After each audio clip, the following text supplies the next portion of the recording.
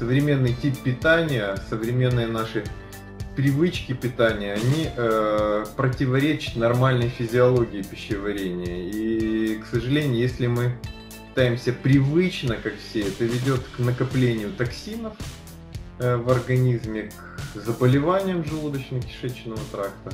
После заболевания, нарушений желудочно-кишечного тракта идут нарушения иммунной системы, аллергические заболевания. Ну и все это перетекает в, э, скажем так, ту сеть э, привычных хронических заболеваний, э, с которыми э, мы начинаем ходить от одного доктора к другому, в принципе, с которыми и большинство из нас умрет, если не изменит свой образ жизни.